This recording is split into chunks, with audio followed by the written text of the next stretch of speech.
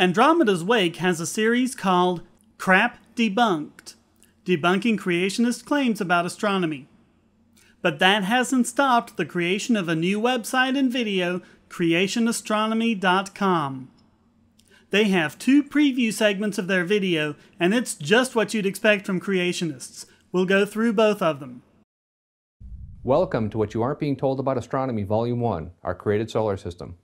I'm Spike Psarris, your host. For a number of years, I worked as an engineer in the U.S. military space program. I entered that program as an atheist and an evolutionist. I left it as a creationist and a Christian. Who boy, someone else who claims to have been converted from atheism and so called evolutionism.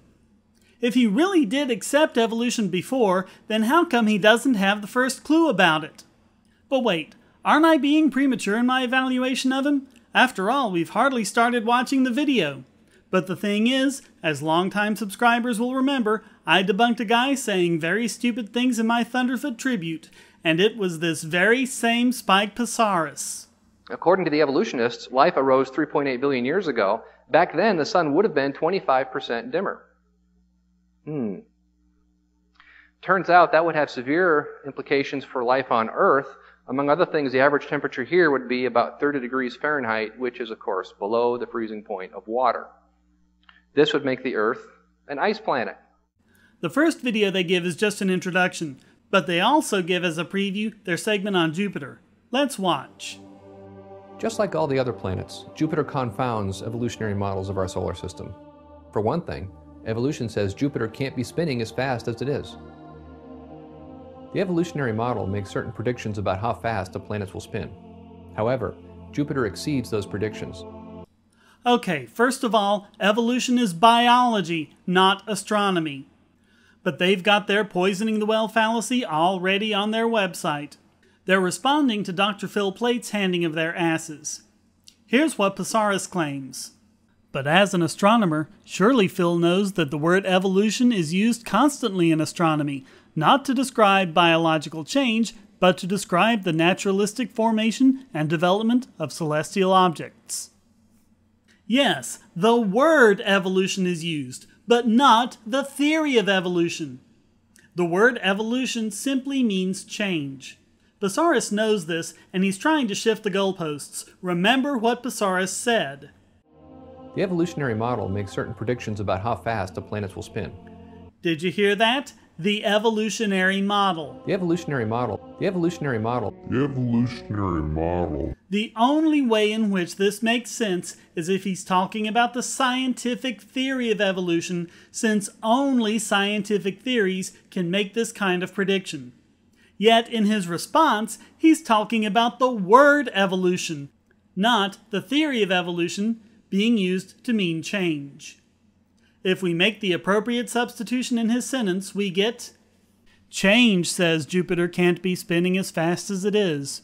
Change makes certain predictions about how fast planets will spin, which is completely nonsensical. Jupiter spins on its axis once about every 10 hours. But here's the thing since it's gaseous, its upper atmosphere undergoes what's called differential rotation.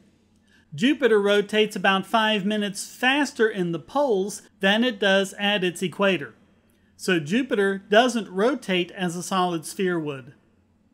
Far from falsifying current scientific theory, scientists actually think that Jupiter may have started rotating faster than it is now and slowed to its current rate. The Sun would have slowed down due to friction much faster than Jupiter, so this makes sense. Also, Jupiter is a fairly dense planet, a lot of mass collected into this space. And like a figure skater drawing her arms in and spinning faster, this would have happened to Jupiter as well. The current cosmological model says that a nebulous disk, seen in formation in many places in our own galaxy, would move faster and faster around as more matter accreted. This would cause the formation of eddies, little spinning whirls in the disk, which condense to form the planets. Again, since Jupiter formed from a much greater amount of this mass, it would increase its rate of spin as the matter was drawn in. The quote he pulls from a scientific paper for support is incredibly misleading, and this is where Psarris shows himself to be just another lying creationist. The only thing this paper cast into doubt was the uniformity of the accretion disk. With planets forming from larger, more catastrophic collisions, the current rotational periods and orientations of the planets can be fully explained. In other words, all that was needed to explain it was a modification to what was then the current understanding. That's how science works. Evolutionary models predicted that Jupiter would lack certain elements argon, krypton, xenon, nitrogen, and others. But it turns out that Jupiter has lots of these elements. Yep, his second point is the same old, same old. When scientists are talking about argon and those other elements in the composition of Jupiter, they're talking about trace amounts. Jupiter is about 0.0009% argon, 0.0004% krypton, and 0.0003% nitrogen. We aren't talking about any significant levels at all. And of course, the nature quote is another quote mine as well. Hey, Psarris, you got anything from this century? Also, the evolutionary model requires Jupiter to have a large core inside of it.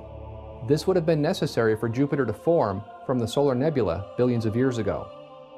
Unfortunately for evolution, a recent space probe measured the mass of Jupiter's core. The evolutionary model needs Jupiter to have a large core, at least 10 times the mass of our Earth. But we now know that at most, the core can only be three times the mass of Earth.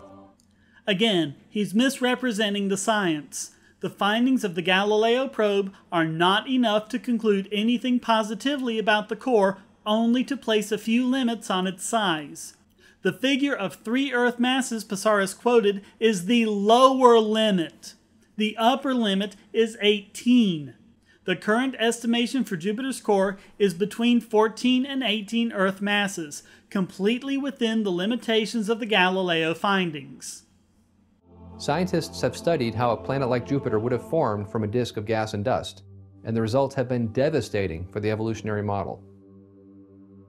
Jupiter would have needed at least 10 million years to form, and that's being generous. Some scientists say it would take even longer than that.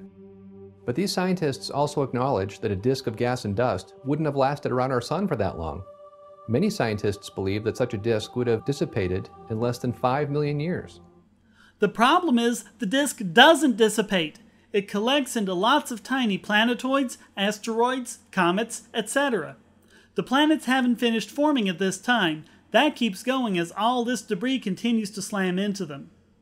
One such collision of a Mars sized object with the molten Earth gave us not only our 24 hour day, slowed down from the 15 hour rotation it had right after the impact, but also ejected our moon as well. Jupiter, having the greatest mass, would have attracted even more of this debris, and in fact continues to do so, as the modern impact of the comet Shoemaker Levy 9 demonstrates. The sad thing is, if this guy really knew his stuff, he could come up with all sorts of information about the planets that we just don't know. This was the subject of Phil Plait's talk at the Amazing Meeting 6. He went through every planet, mentioning at least one thing that science doesn't yet have the answer for. But the way science works, it embraces the things we don't know and uses them to modify the theory to increase our understanding of the universe and make the models more accurate. It's a continuous, ongoing process. But all Psarris and the other creationists can do is point out some things that science doesn't yet understand and then claim that this somehow means that the scientists are completely wrong and they're right. But even then, they fail at that. Psarris tries a God of the Gap strategy with gaps that have already been filled. And all the while, science keeps on discovering and learning, while the creationists neither grow nor change, becoming neither smarter nor more knowledgeable. It's just one more reason creationism is fail, fail, fail.